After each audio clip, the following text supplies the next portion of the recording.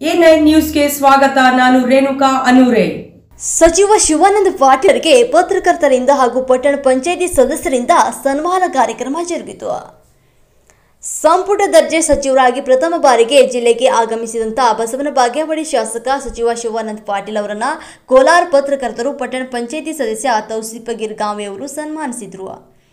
ಈ ಸಂದರ್ಭದಲ್ಲಿ ಪತ್ರಕರ್ತರಾದ ಇರ್ಫಾನ್ ಬಿಳಿಗಿ, ಮಶಾಕ ಬಳಗಾರ್, ಸಲೀಂ ಕಂಕರ್ಫೀರ್, ಮುಖಂಡರಾದ ಅನ್ವರ್ ಬಿಳಿಗಿ, ಅನ್ವರ್ ಕಂಕರ್ಫೀರ್ ಇನ್ನಿತರರು ಭಾಗಿಯಾಗಿದ್ದರು.